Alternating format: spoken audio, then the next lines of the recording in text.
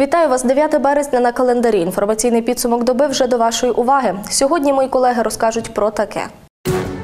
Міжурядова делегація відкриття нового КПП, міжнародний проект знизити ризики надзвичайних ситуацій. Перший вінок, акція феміністок, книга Олександра Гавроша. Більше про Тараса Шевченка. Протягом доби 8 березня на Донбасі бойовики один раз відкривали вогонь по позиціях об'єднаних сил. Про це повідомили у прес-центрі ООС. Заборонене мінськими домовленостями озброєння за інформацією військових не застосовувалося. Зі стрілецької зброї обстріляли наш опорний пункт у смузі відповідальності оперативно-тактичного угрупування Північ в районі населеного пункту Кримське, зазначили у штабі. Внаслідок обстрілу жоден військовослужбовець об'єднаних сил не постраждав.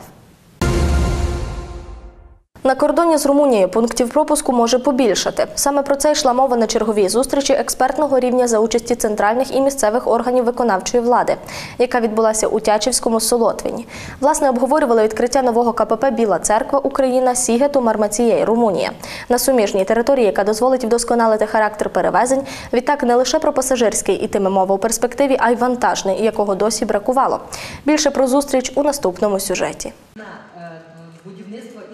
Міжнародна експертна зустріч за участі центральних та місцевих органів виконавчої влади відбулася з днями в Тячівському Солотвіні. Тема відкриття на суміжній території нового пункту пропуску Біла церква Україна Сігету Мармацієї Румунія. Мета розробити узгоджену сторонами позицію щодо даного об'єкту на лінії кордону та опрацювати проектну пропозицію будівництва мосту через річку Тису, який є невід'ємною складовою в реалізації задуманого. Ініціатори зустрічі Міністерство інфраструктури України та Міністерство закордонних справ. У нас діють декілька тільки пунктів пропуску. Безперечно, що сьогодні ми дуже зацікавлені, обласна державна адміністрація, мешканці Закарпаття, а врешті вся Україна, українці, щоб був сучасний пункт пропуску в Закарпатській області з Румунією. Фінансування пункту пропуску, а основне це міст через річку Тиса, це буде фінансуватися румунською стороною. Букурат на Букурат.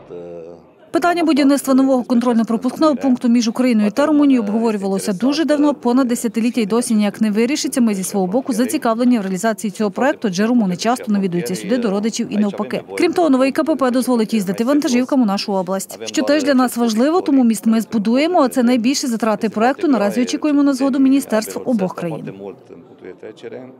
Департамент інфраструктури ОДА забезпечує по програмі розбудови прикордонної інфраструктури фінансування розробки проекту і інфраструктуру з нашої сторони, будівництво під'їзної дороги довжиною кілометр 100 метрів та безпосередньо будівництво КПП на території України. Розробляє проект обміну нотами між Україною та Румунією для відкриття нового міжнародного пункту пропуску управління транскордонного співробітництва. Все решта за румунами.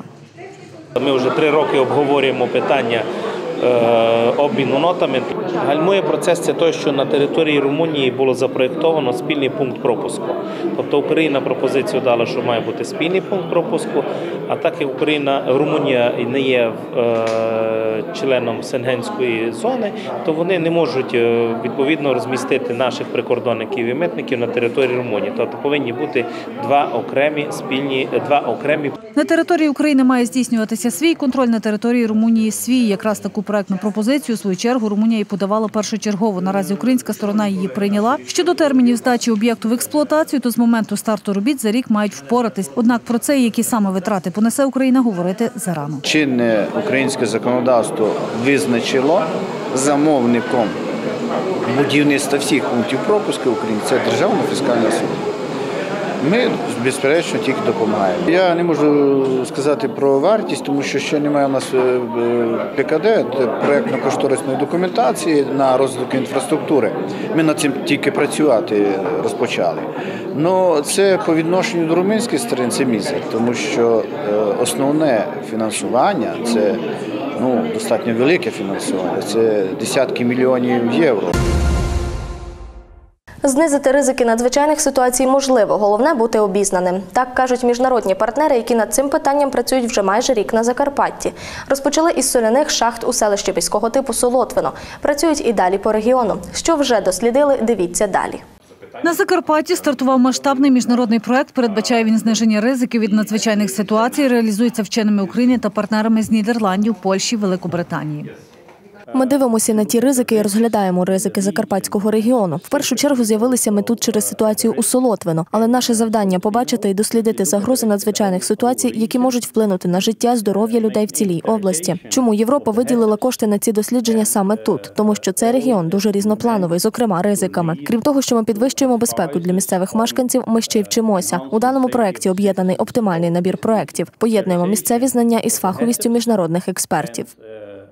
Працюють партнери вже рік. Головним об'єктом стали закарпатські соляні шахти в Солотвині, які в 2007 році затопило, сформувавши масивні карстові проваля. Учасники проекту розповідають, наразі працюють над створенням мапи ризиків, яка допоможе знайти чіткий інструмент вирішення ситуації. Ми працюємо на, е, зібрання і мапування.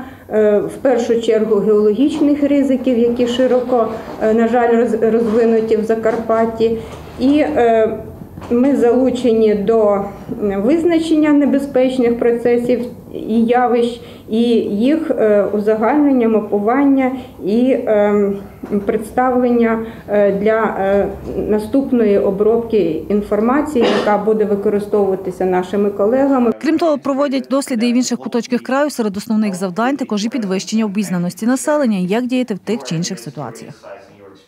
Серед компетенцій це розробка компанії з підвищення обізнаності. І тут треба розуміти, що це не просто інформування, а прагнення змінити ставлення у трьох суміжних сферах емоційній, когнітивній та поведінковій. В першу чергу хочеться змінити рівень обізнаності із питань безпеки, а ще інформаційно підтримати нові рішення вирішення ситуацій. Аби створити певну картину, партнери працюють над збором інформації на всіх рівнях, досліджують самі, вивчають наявну в архівах, також дізнаються й думку населення. Все для того, аби розробити комплексний план вирішення різних ситуацій, яких в подальшому оприлюднять загалу. Задача полягає в тому, щоб взяти всі зібрані дані всіма учасниками проекту і трансформувати їх таким чином, щоб вони були корисними для процесу прийняття рішень. Важливо розуміти, що дані це важлива річ, проте головним є зробити ці дані корисними. Працюють над проектом вже рік. Планують створення комунікаційної платформи між партнерами проекту та ключовими стейкхолдерами, працівниками структур з надзвичайних ситуацій області. Під час несення служби в Ужгороді 8 березня близько 5 години ранку патрульні помітили автомобіль Мерседес-Бенц, водій якого, виїжджаючи із другорядної дороги на Одеській, виїхав на головну, не увімкнувши показчик повороту. Патрульні прийняли рішення зупинити даний транспортний засіб, однак на вимоги патрульних про зупинку водій не реагував, а продовжував рух. Йдеться у повідомленні патрульної поліції Закарпатської області. Під час переслідування Мерседес встиг проїхати кілька вулиць, після чого повернувся на Одеську. Саме там шляхом блокування дане авто було зупинено. Транспортному засобі на момент зупинки перебувало п'ять осіб: дві жінки та троє чоловіків. Останні поводили себе агресивно, чинили активний опір патрульним та намагалися завдати тілесних ушкоджень інспекторам. Один із чоловіків наніс тілесні ушкодження поліцейській, в неї забій м'яких тканин правої гомілки. Даних громадян було затримано та доставлено в Ужгородський міськвідділок поліції. У діях осіб вбачають ознаки криміналу. Працівники поліції Закарпатської області розслідують справи, що стосуються неправомірної діяльності кількох жителів області, які протягом тривалого часу здійснювали наркозлочини. Про це повідомляє прес-служба поліції Закарпатської області. Встановлено, що ці жителі Закарпаття займалися збутом метамфетаміну та канабісу в особливо великих розмірах. Наркотики вони постачали із-за кордону. Крім Закарпаття, розповсюджували заборонені речовини на території інших областей. За фактом відкрито кримінальне провадження за частиною 3 статті 307 Кримінального кодексу України. Незаконне виробництво виготовлення, придбання, зберігання, перевезення, пересилання чи збут наркотичних засобів, психотропних речовин або їх аналогів. У ході слідчо-оперативних заходів було призначено понад 20 обшуків у помешканнях фігурантів кримінального провадження. Працівники поліції вилучили у фігурантів справи наркотичні речовини, зброю та грошові кошти у великих розмірах. Слідство у справі триває. Закарпатець намагався підкупити прикордонника для незаконного переміщення цигарок через кордон. Учора в місті Чоп затримали мешканця цього міста у момент безпосередньої спроби передачі хабаря у розмірі 350 доларів США. Це перша частина з обіцяної суми 550 доларів США. Співробітникові Держприкордонслужби. Зловмисник очікував, що прикордонник, всупереч інтересам служби, погодиться посприяти у незаконному переміщенні тютюнових виробів через державний кордон України у конструктивних особливостях вантажних вагонів, які слідують до Угорщини через пункт пропуску для залізничного сполучення ЧОП Дружба. Наразі тривають невідкладні слідчі дії. Двох українців, які намагались незаконно перетнути українсько-румунський кордон, затримали вчора прикордонники відділення Богдан Мукачівського загону. Інформацію про незаконні наміри чоловіків прикордонники отримали від місцевого мешканця. На вказаному повідомленні напрямку за 50 метрів до кордону прикордонники затримали двох із пакунками. Зловмисники намагались переправити до сусідньої Румунії 1250 пачок сигарет. Правопорушників доставили до прикордонного підрозділу, де на них було складено за частиною 2 статті 204 1 незаконне перетинання або спроба незаконного перетинання державного кордону України. Виявлений контрабандний тютюн прикордонники також доправили до відділення Богдан та згодом передадуть співробітникам ДФС. В інтернеті з'явилося відео, як закарпатські прикордонники пропустили авто із героїном. На кадрах видно, як автомобіль Renault Sport GT спочатку очікує стандартної перевірки в черзі на пункті пропуску Солотвино. Після розмови з прикордонниками транспортний засіб з героїном спокійно залишає чергу і переїжджає на іншу смугу. При цьому водія мікроавтобуса, який стояв попереду, попросили поступитися місцем. Незабаром Renault Sport GT їде геть, перетинаючи кордон. Нагадаємо, що 4 березня прикордонники Румунії затримали двох громадян Нідерландів, які везли 84 кілограми героїну з України. На українському контрольному пункті пропуску партію наркотиків не помітили. У ДПСУ повідомили, що в українських прикордонників, на відміну від румунських колег, немає сканерів, які можуть показати, що є всередині авто, і це ускладнює виявлення контрабанди наркотиків. В Ужгороді організатори акції феміністок розповіли про цю подію більше. Вони сподівалися, що захід відбудеться без агресії молодиків.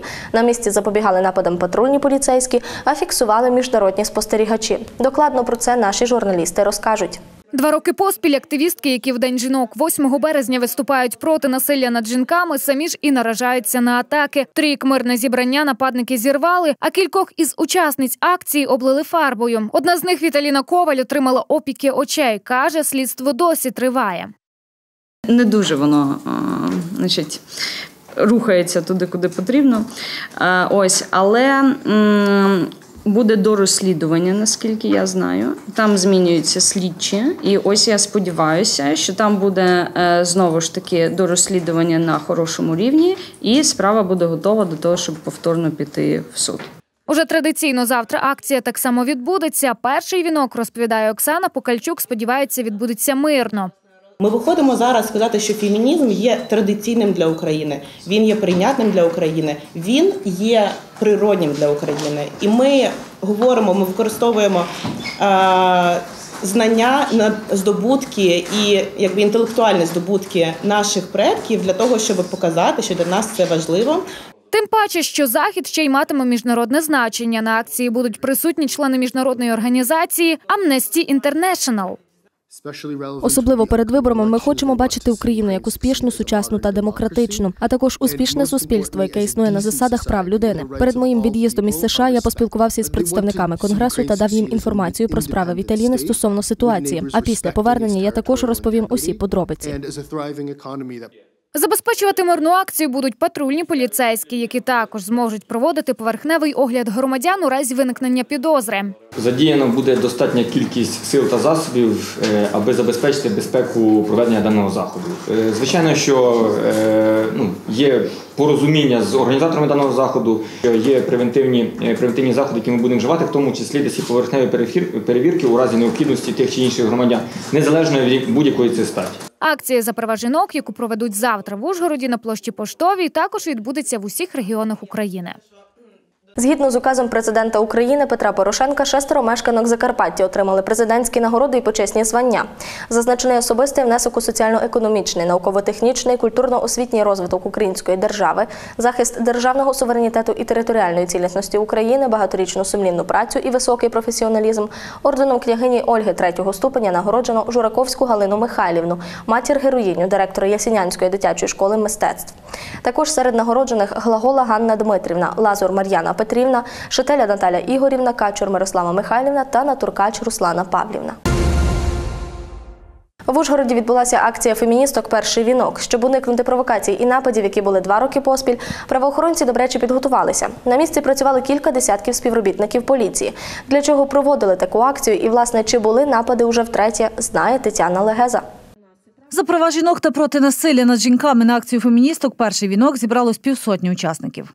Ні насильству, так правам! Ні насильству, так правам! Поза як два роки поспіль на демонстрантів скоювали напади. Тут зараз правоохоронці на кожному кроці, патрульні, нацгвардія, полісмени з ГУНП по всьому периметру заходу. Перед початком акції вибухотехніки перевіряли територію на наявність небезпечних предметів та речовин. Власне, й приходять учасники на площу поштову супроводі копів. Віталіна Коваль каже, що вже встигла побачити кількох осіб, які скоювали напади на неї.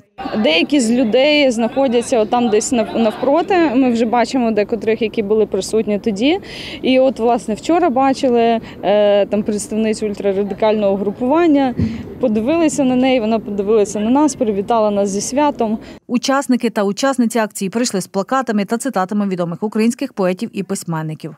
Стверджують, що хочуть розповісти про традиції фемінізму, що боротьба за рівноправність між чоловіками та жінками досі актуальна.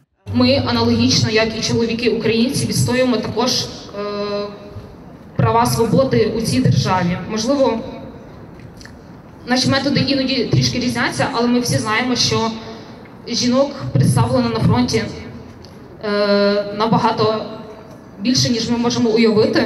Сьогодні за ситуацією, за нашою акцією слідкує дуже велика кількість людей не лише в Україні, але й за кордоном. Amnesty International – одна із найбільших правозахисних організацій світу, нас більше 7 мільйонів людей в усьому світі. І про ситуацію 2018 року в Ужгороді і неможливість провести тут акцію було відомо всім цим людям. На акції перший вінок присутні і закордонні спостерігачі, зокрема гості зі Швеції та США, є представники консульства Німеччини. Ми стоїмо пліч опліч із нашими сестрами та братами у всіх куточках світу, особливо у моменти кризи. Сьогодні саме такий момент. Ось чому я зараз тут. Сьогодні момент кризи, бо напади, які трапилися рік тому в Ужгороді та в інших містах України, вони не відбуваються у вакуумі. У всьому світі ми бачимо, як порушуються права жінок. Жіночі голоси замовчуються, а тіла продаються.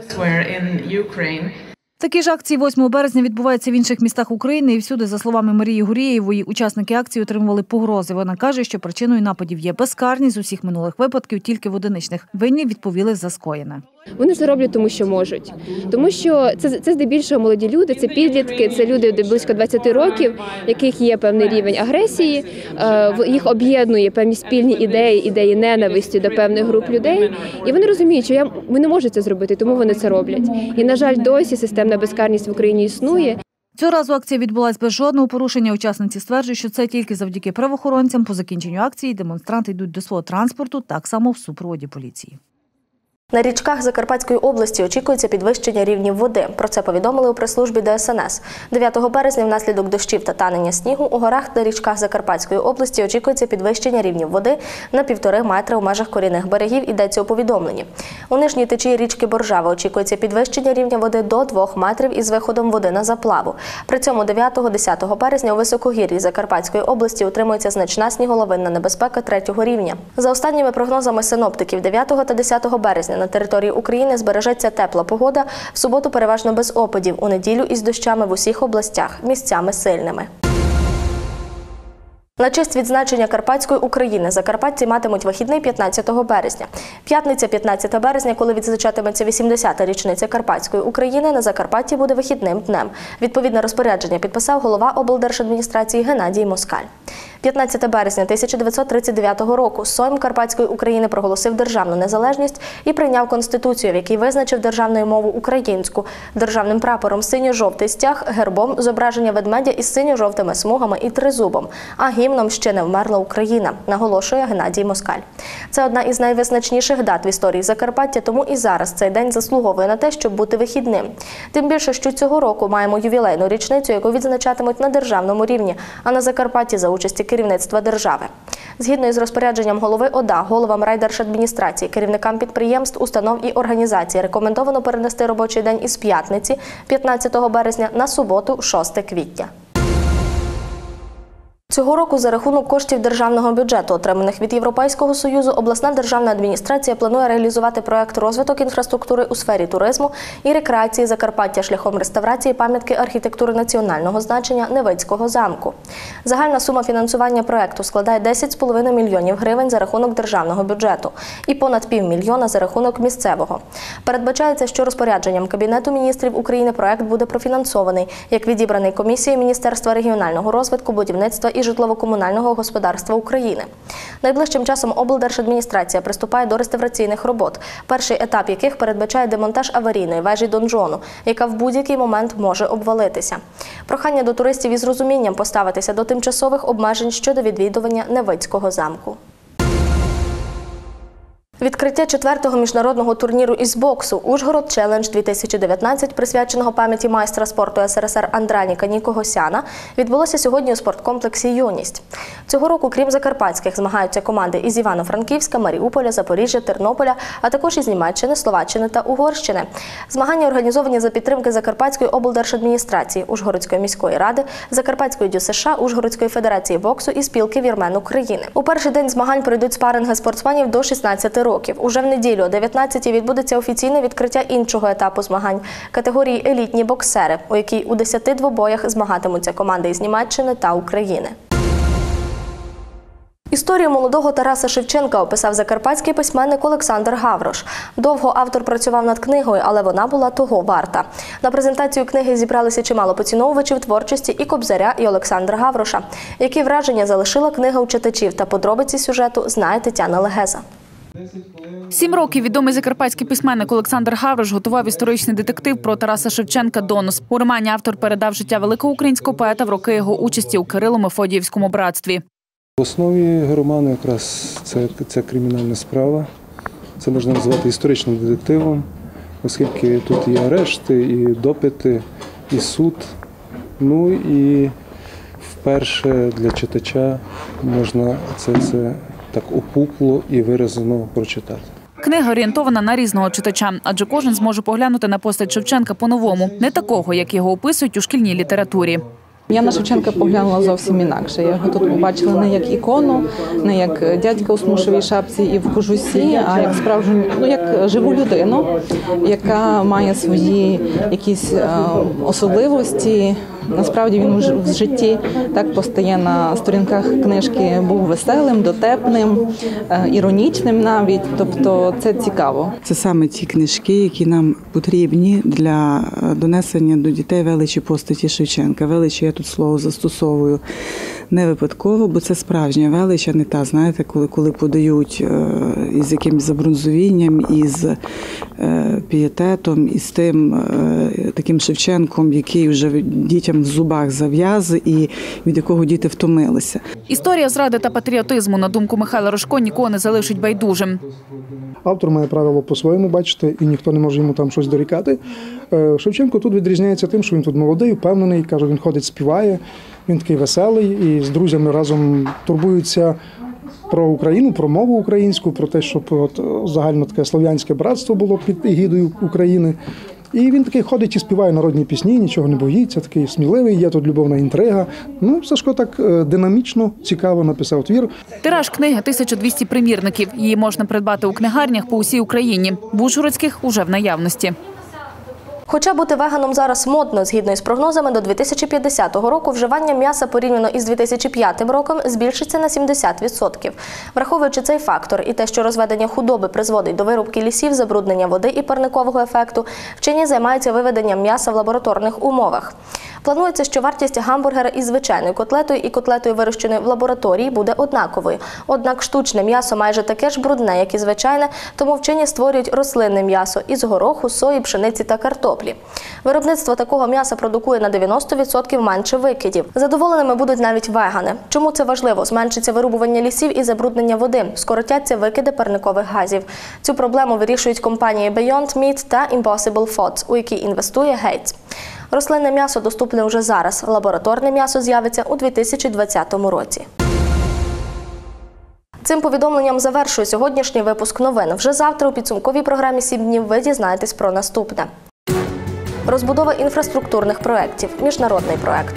Катування хлопчика, вражаючи зізнання. Питання об'єднання. Створення Мукачівської ОТГ.